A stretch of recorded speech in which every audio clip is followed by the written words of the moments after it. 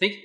اسی طرح جو ہے، ایک اور جو بات آتی ہے، سنن ابن ماجہ کی یہ روایت ہے، اور صحیح ابن خزیمہ بھی یہ روایت آتی ہے۔ نبی اکرم صلی اللہ علیہ وسلم فرما کہا، جو شخص نماز اور ذکر کرنے کی نیت سے مسجد میں قیام پذیر ہو، نماز کے لیے اور یہ سوچ کے کہ میں ذکر قیام پذیر ہو، رک جائے، ہوتا ہے تو اللہ تعالیٰ اس کے مسجد میں آنے سے اتنا خوش ہوتا ہے جیسے گم شدہ شخص کے واپس گھر لوٹنے پر گھر والے خوش ہوتے ہیں۔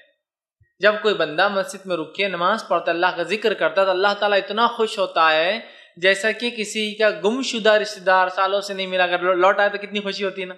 اتنی خوشی اللہ تعالیٰ کو تو بہرحال یہ تو تمام فضیلت مسجد کے تعلق سے، اعتکاف کی مخصوص فضیلت بہرحال مجھے کوئی صحیح صنعت سے روایتیں نہیں ملی، تقریباً ضعیف تھی اس نے اس لیے میں نے آپ کے سامنے تفصیلات نہیں رکھی۔ آئیے آگے۔